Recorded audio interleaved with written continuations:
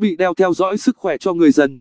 Trong khuôn khổ chương trình chăm sóc sức khỏe quốc gia Life Healthy Sài Gòn, hàng trăm nghìn người dân quốc đảo Sư Tử sẽ được phát miễn phí thiết bị đeo Fitbit Inspire HR, 99 đô la Mỹ.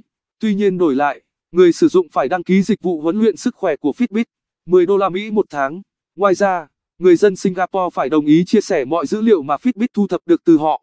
Dữ liệu này sẽ giúp định hình các chương trình chăm sóc sức khỏe khác của chính phủ Singapore. Fitbit cam kết sẽ dành mạch trong việc thu thập dữ liệu. Người dân sẽ biết dữ liệu thu thập nào được chia sẻ với chính phủ nước này. Đây là chương trình tự nguyện. Dân số Singapore đang vào khoảng 5,6 triệu người. Fitbit ước tính sẽ cung cấp hàng trăm nghìn thiết bị đeo trong đợt này.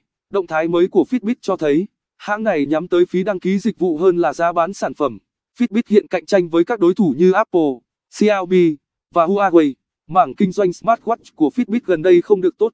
Tháng trước, công ty này thông báo doanh thu smartwatch giảm 27% so với cùng kỳ năm ngoái do lượng cầu thấp hơn dự kiến. Người dân Singapore có thể đăng ký trước chương trình Live Healthy Sài Gòn trong tháng 9. Cuối tháng 10, chương trình này sẽ chính thức được triển khai.